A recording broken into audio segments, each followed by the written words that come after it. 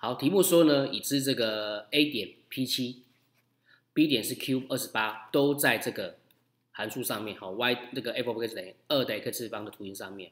好，那这个题目对你很好，因为它已经告诉你了，它告诉你 P 七就是说，当我的 x 带七的时候，哎，对不起，我的 x 带 P 的时候呢，我的 y 会是七，有看到吗？好，然后呢，Q 二十八就是说，我的 x 带 Q 的时候，我的 y 呢会等于二十八。会了，那其实做法很简单，你就把这这个是这个点有没有放进去这个函数里面，所以我知道二的 p 次方，因为这里 x 带 p 嘛，带 p，二的 p 次方会等于七，这个也是一样，二的 q 次方会等多少？会等于二十八。OK，可以吗？好，那题目是在问什么？题目是在问 AB 的长度，对不对？那 AB 长怎么算？AB 长度。A B，好，我们之前呢不是有学过吗？这个 A B 的点坐标的话呢，因为它问的是直线距离嘛，所以它相当于什么东西？是不是相当于 P 减 Q 的平方加上七减二十八的平方，对不对？就是 x 减 x，y 减 y 的括号平方，就两点距离公式嘛，还记得吗？如果忘记的话，快去帮你看一下。假设这个是 A 点，x one y one；B 点的话呢，如果是 x two y two 的话，它们的距离不就是 x 减 x，y 减 y 吗？所以它就等于 x one 减 x two 的平方加 y one 减 y two 的平方，还记得吗？好，所以用它来算。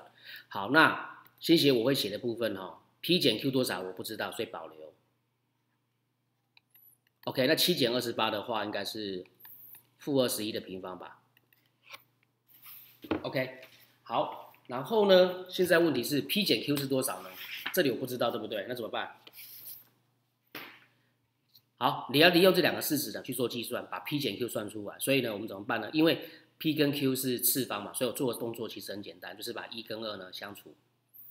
OK，所以相除到这种情况会变成两倍的 P 减 Q。等于七去除以二十八，就等于四分之一，那是不是就等于二的负二次方？哎，这个小心哦，四分之一是二的负二次方哦，所以我知道我的结果啦，P 减 Q 是多少？P 减 Q 就是负二，所以这边呢就可以换成什么东西？就可以换成的是负二的平方加上负二十一的平方。好，那是多少呢？就等于根号。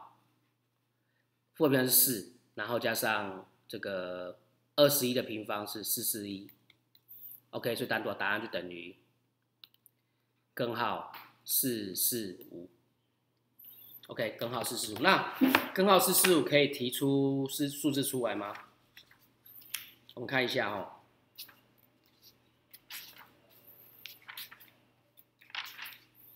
好，这个根号四四五看起来的话，应该是没有办法哦。我们看一下，可以吗？这是范例二的第一题。